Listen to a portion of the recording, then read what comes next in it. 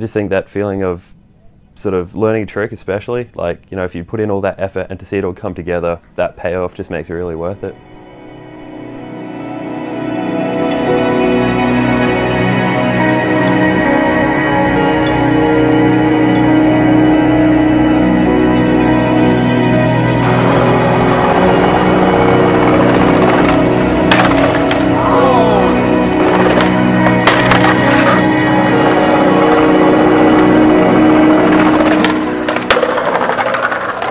Friends, you know, who might be skateboarding uh, might tend to go in that direction.